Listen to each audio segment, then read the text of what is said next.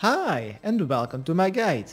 Today we will be completing the quest Beneath Cursed Sands. The quest requirement is contact and the stat requirements are 62 agility as well as 55 crafting and firemaking. Items needed. A coal, an iron bar and any raw or cooked meat or you could replace that meat with 5 GP. Then for the recommended items are between 2 and 3 stamina potions depending on your agility level as well as how much you weigh. Then also some armor and weapon to kill a combat 119, 174 and 379 which are all weak to ranged so I suggest using ranged. And then for the final boss which is 351 combat he is weak to melee and I'm gonna be banking before the final boss fight to change to my melee gear. Then I suggest you to also bring along an antidote or an anti-poison potion. Then also 3 or 4 water skins to protect yourself against the desert heat.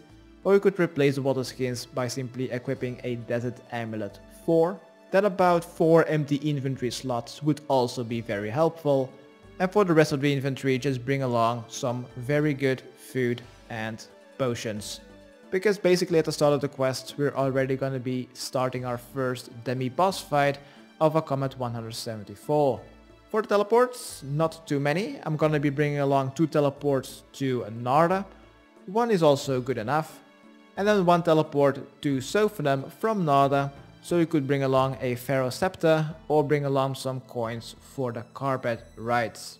So, where to start this quest is here in Sophanem, here at the crafting market, let's talk to Jamila and select option 2 and then 1. After speaking to her, let's run southeast. Go behind the buildings until you see a door sign, the exit of Sophanem. Go through the gate and then go east, northeast. Until you see some big rocks on your minimap. Keep going east until you can't go any further, until you see a mining site. From there, go north, they'll see a big alcove with an NPC inside. Talk to Maisa and select option 1 to start your first cutscene.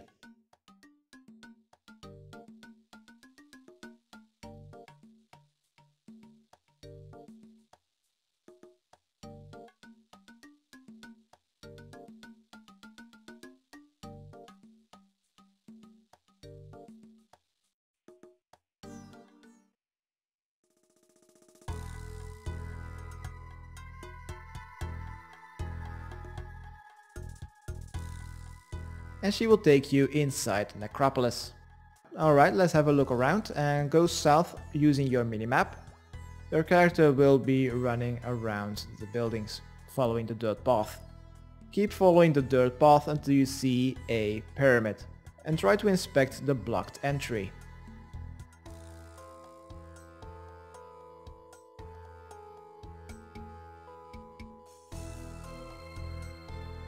Go on top of the pyramid Inspect the entry. Next, you should speak to any citizen or guard, doesn't matter. And this will trigger the first demi-boss fight. This is pretty simple, simply do not use protection prayers. Using Augury and Eagle Eye is no problem, just do not use Protect from melee. This NPC is constantly attacking you, so you cannot use the rocks or the NPCs to block the Menaphite God. You will need to fight this guy head on.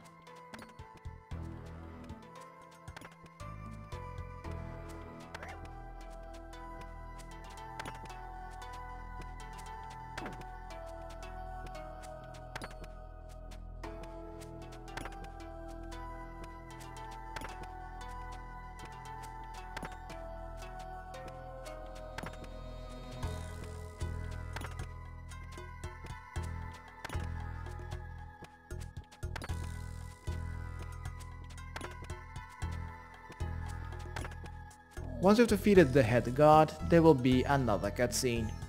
After this cutscene is over, we will need to run north to exit Necropolis.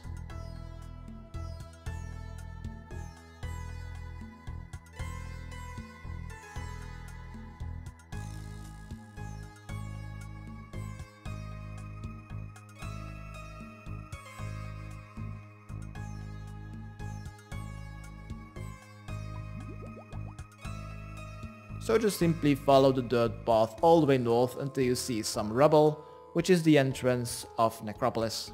You could go back to Sophanem and re-bank, grab some more water skins, stamina potions or food if you want to. Because next we will need to fight the first boss as well as two mages, which are all weak to ranged.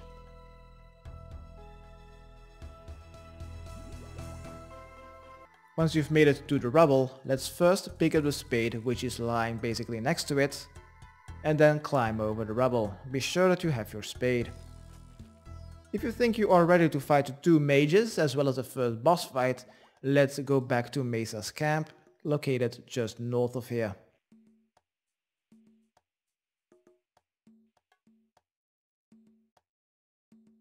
Let's talk to her.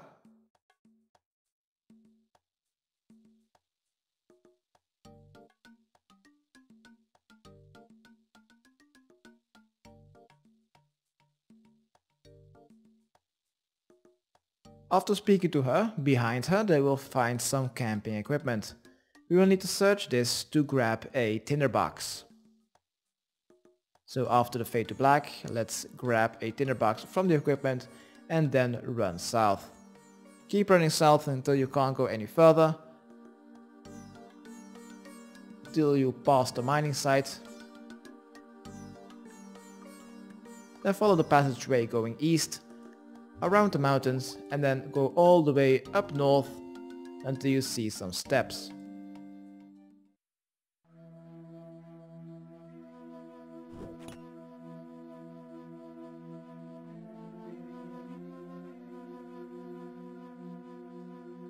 Climb up those steps and then continue going north. There you should see a furnace. Inspect the furnace and select one twice. Once you've done that, next you you'll find a well. Search it and then go back south. Go back to the steps and continue running south. We have now just passed a circle of broken pillars. We will need to stand south of those. So there's first an empty spot with broken pillars once you're south of the circle of broken pillars, inspect the stone tablet, then close it and then dig with your spade to find a chest. Open it and then type in 111 85 13. Enter. Then we'll find a mold. Next, we will need to use this mold on the furnace just up north.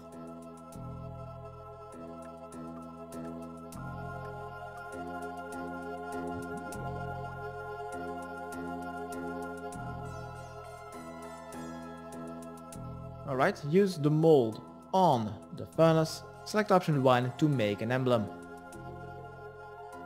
Next, let's go north. And on the way north you may drop your spade and tinderbox, that is not needed anymore. And then use the emblem on the pillar. Select option 1 and you'll see some UI. Rotate the scarab until the head faces downward. Then click on confirm to open the entry just west of you. Climb down to start your second battle against two combat 119 Scarab Mages. Simply use Protect from Magic and you should take no damage except from maybe the scars they will form. You can simply ignore the Scarabs or kill them. Doesn't really matter, depends on how much damage you take from the swarms.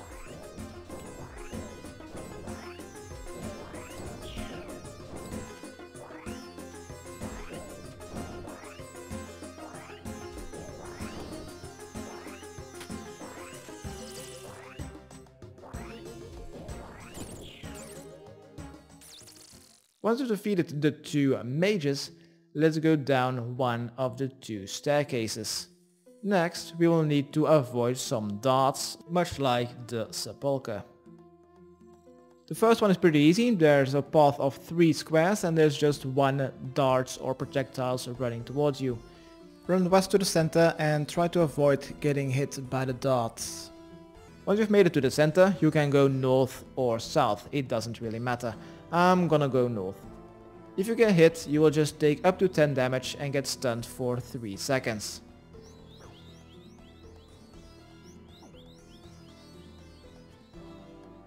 Once you've made it north or south, just follow the dots all the way to the end and at the eastern wall you'll find a lever. Once you've pulled it, you will start a timer and you will need to make your way all the way on the other side of the temple. So click the lever and make your way as fast as possible to the other side. I suggest you to just hope for the best and just get hit by some projectiles. Trying to avoid getting hit by the projectiles is just a waste of time to be honest. By the time you figured out how to avoid the projectile and make the movement to avoid the projectile, that will take too much time and then your timer will just run out. If your timer has run out, you will simply need to pull the northern or the southern lever once again and then make your way to the other side of the dungeon as fast as possible.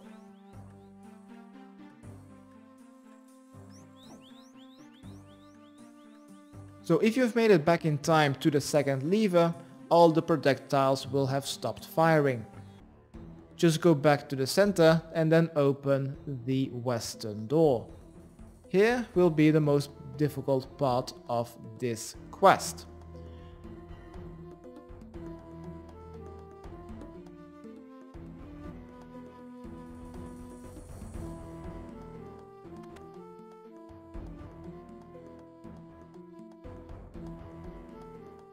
First off, let's go to the southwestern corner and inspect this plaque to receive 4 emblems. Next up, go to the northwestern plaque and read it. And what is written on here is almost random for everyone. The most important sentences that you will need to read is the third one. To the one that arrived first, he offered a dot dot dot. This could be four things. Linen, necklace, wine or carving. So for me, the one that arrived first got a carving. So for me, the first one is scarab. This is random for everyone what is written here. Then the second sentence you need to pay attention to is just a couple just a couple of sentences downward. The one from the far south arrived last, just after the one offered some linen. So I'm just gonna be writing down last is baboon. This is wrong, but this is just a trick of this puzzle. So once you have written down your first is one goddess, the last one is another goddess. Right. Once you know these, I suggest you to use your first goddess, for me it was Scarab, and put it in the third urn from the north. Then your last goddess, for me it was Baboon, the linen one. For you it could be something else, just put it in the second urn from the north. Now there are just two more emblems and two more urns. I'm gonna first heal up, because this is a 50-50 chance. I'm just gonna be putting human last and crocodile first. This is just 50-50 and I'm just gonna be pulling the lever just west. If I take damage... Oh. If you fail, you will get hit up to 40 damage, as well as be poisoned and have some of your stats reduced. If that happens, just simply go back to the most southern and the most northern urn and just switch the two emblems inside of both urns and then try again. Right, didn't really expect to hit the 50-50 mark, but anyway, let's open the door and then we'll find an NPC. This is a ghost. You don't need a ghost speak amulet, but simply talk to it. Then on the western side you should find a urn. After the conversation is over with the ghost, the urn will be searchable. Once the urn is searchable, click on it to find a key. Next, let's go back, all the way back to the first level. We're basically in level 2 right now, so let's go back all the way east, back up the stairs to level 1 of the dungeon. After you've made it upstairs, you will need to make a decision for yourself. and ask yourself, do you have enough supplies to be able to kill the first boss of this quest?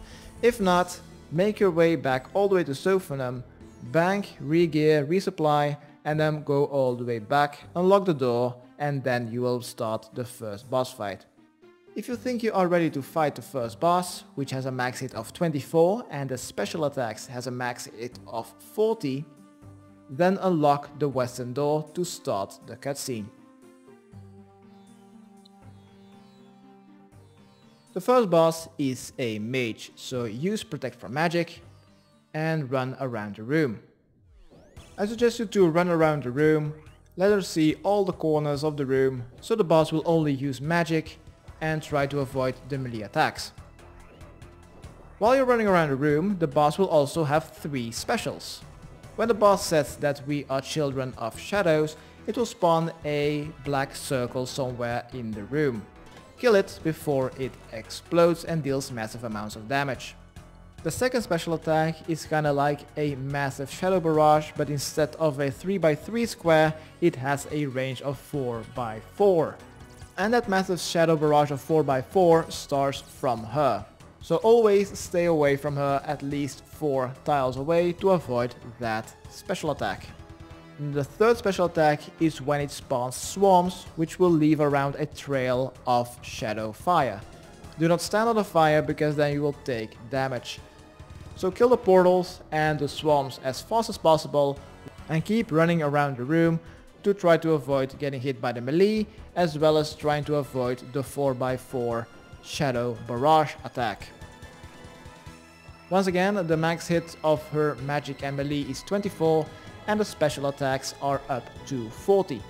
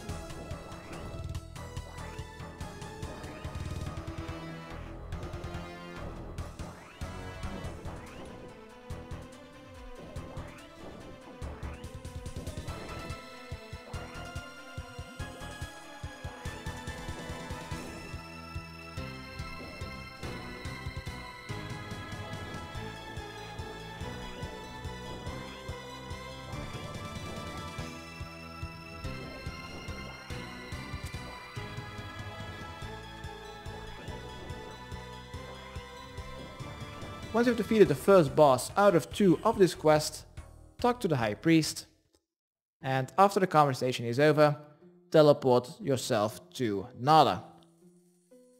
If you've completed the quest Spirits of Elid, let's go enter the Northern Room, pray at the statuette to recharge your prayer, hit points and run energy.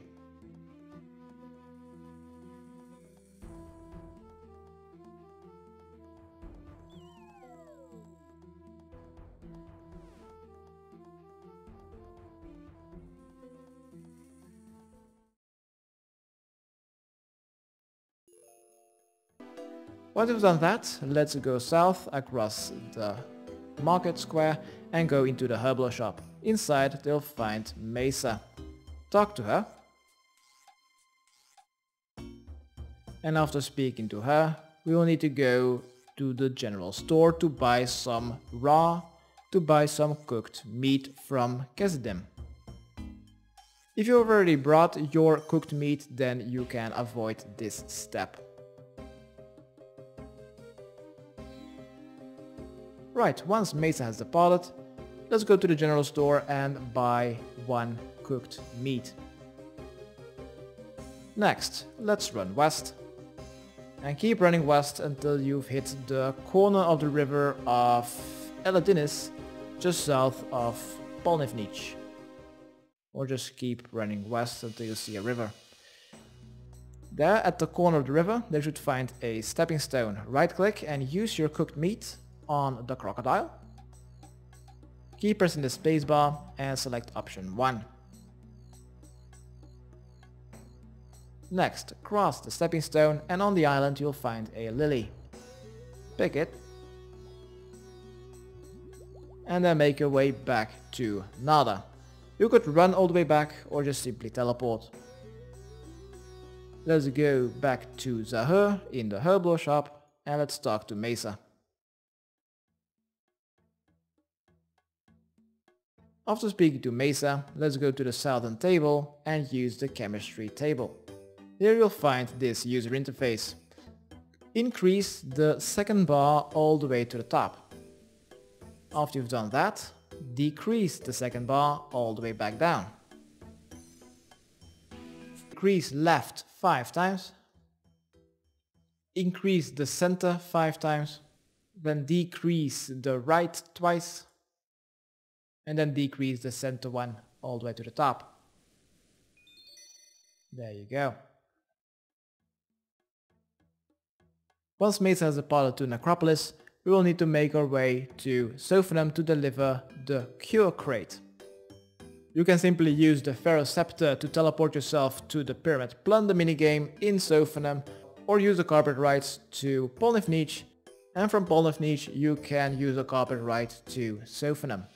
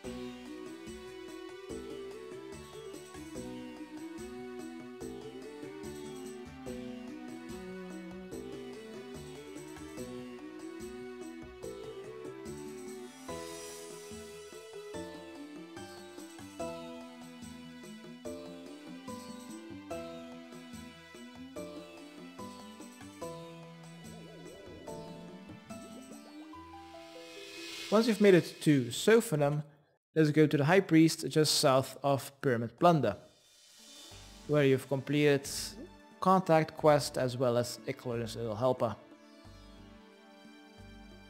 Let's talk to the High Priest to deliver the Cure Crate. After we've delivered this, let's go to the Bank of Sophanem to prepare for the final boss fight and basically complete this quest. So let's go to the bank and prepare for the boss fight. This is against a combat 351 which basically only uses melee. And will also have two special attacks which can deal up to 70 damage. The combat 351 is also weak to all melee styles, so just bring your best melee setup. The boss only uses melee, but it will also have a minion which uses ranged and magic. The boss's max hit is 22 and the minion's max hit with ranged and magic is also 22. So I'm gonna be bringing along some tank gear to tank magic and ranged and just gonna be using protect from melee. And then also a ring swap and I think this is a good medium level setup to use. Next up, for the inventory, I'm just gonna be bringing along one stamina potion. You don't need the antidote or anti-poison anymore. What I am gonna be bringing along is one water skin. The other one is not needed. Also, you don't need any more coins. One emergency teleport would be helpful, maybe. As for the rest of the inventory, that can simply be food and potions. To be honest, the first boss fight was more difficult than the second boss fight when I did it on my other account. So once you think you are ready for the second boss fight, let's go to Necropolis.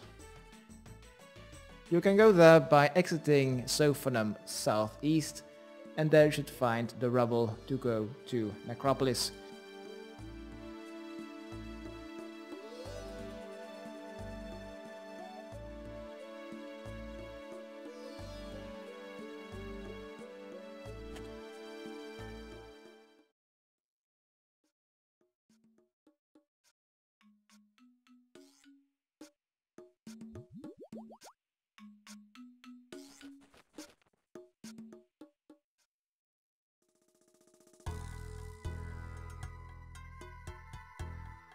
Once you've climbed over the rubble and you are following the path, you should be passing Maisa.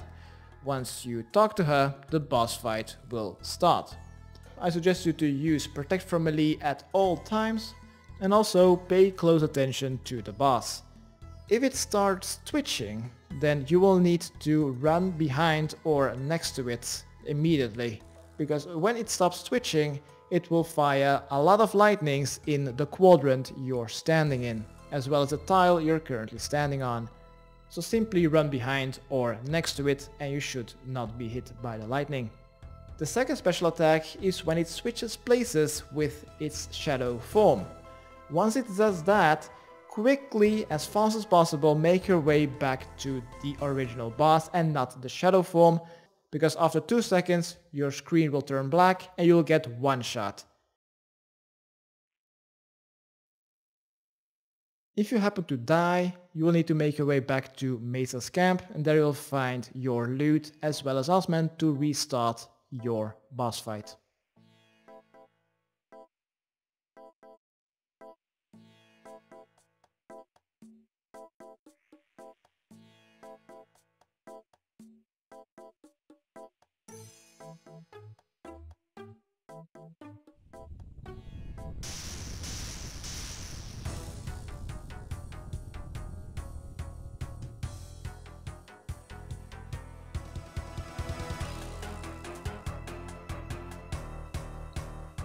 So, melee, party, and just pay attention to it twitching.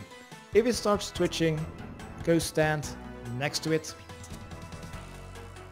Also, stay close to the shade. About two tiles away should be fine. It starts twitching, stay, go stand in another quadrant. Not too close to the shade though. Not too close from the shadow though. Quickly. Dude, dude, dude, dude, dude, dude, dude. What the fuck? I'm attacking the cunt. Okay, do not do that then.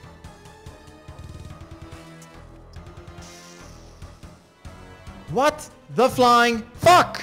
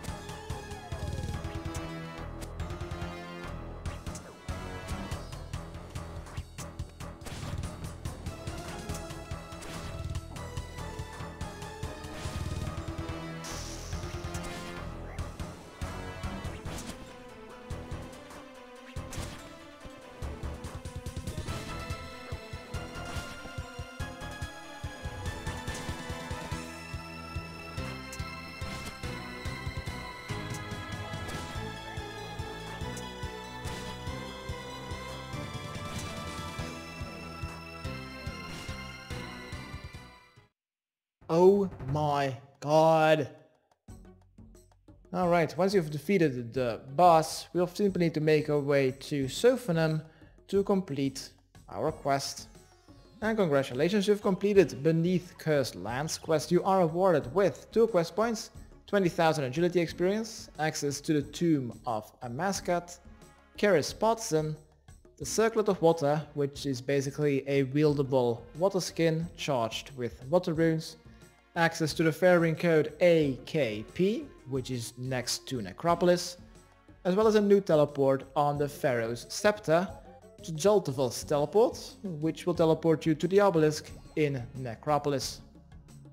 Alright, this was my guide how to complete Beneath Cursed Sands quest. Hopefully it has helped. Subscribe, rate and comment. Okay, thanks, bye.